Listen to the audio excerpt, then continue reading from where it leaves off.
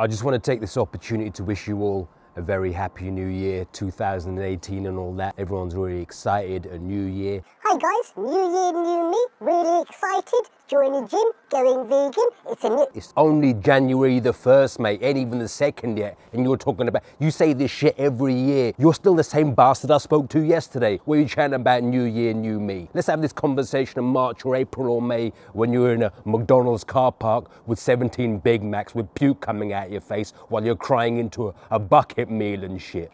I can't do this. Why?